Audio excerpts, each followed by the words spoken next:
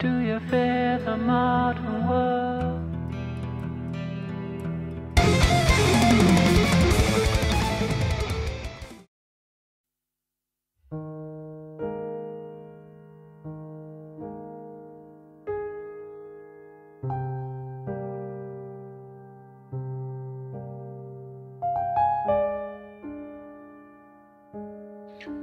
Bonjour tout le monde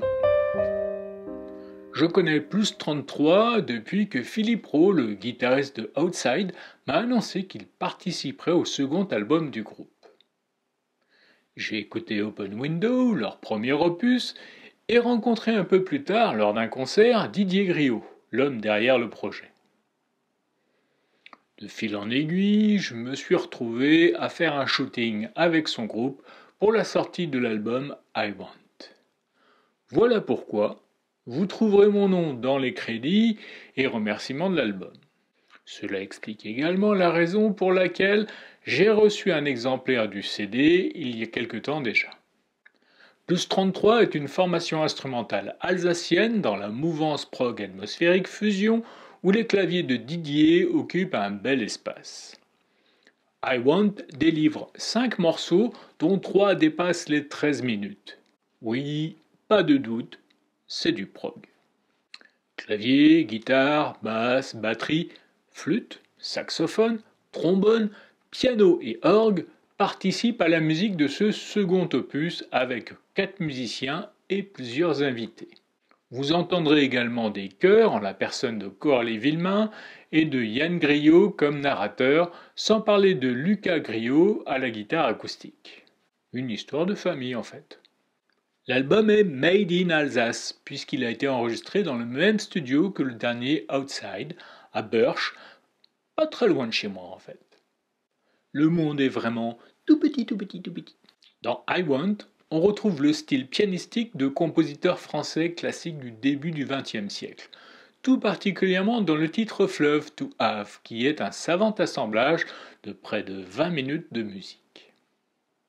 A contrario, To Know, joué à la guitare par Lucas, est une pièce toute simple et pourtant délicieuse.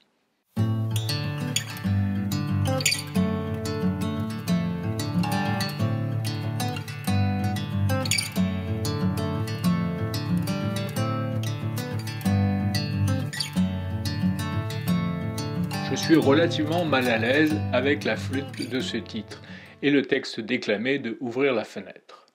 Pour la flûte, je n'irai pas par quatre chemins, j'ai entendu de bien meilleures interprétations.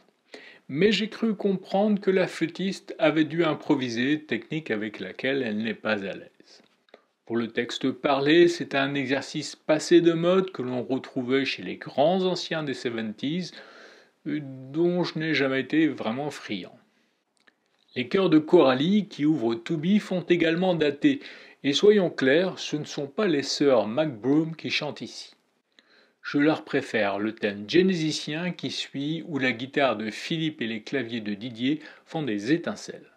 Parlons maintenant de Fleeting Moments of Eternal Harmony, ce morceau très cuivré de plus de 13 minutes qui ouvre I Want. La première chose qui saute aux oreilles est ce mixage très clair, limite brillant de Mike et Stéphane, qui nous accompagne en fait sur les cinq morceaux.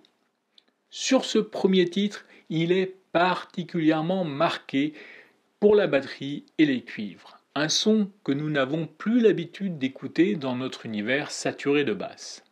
D'ailleurs, le titre me fait songer à du Phil Collins, mais sans le chant, bien entendu.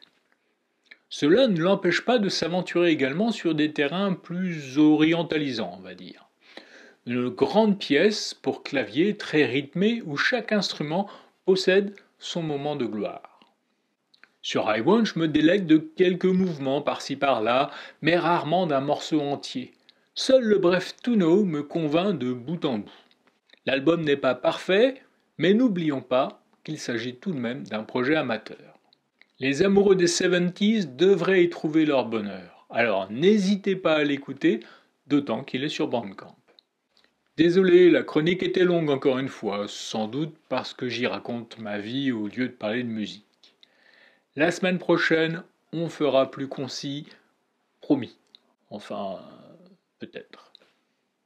N'hésitez pas à cliquer sur le pouce pour dire que vous avez aimé cette vidéo et à vous abonner à la chaîne si vous voulez continuer à suivre ces chroniques en images.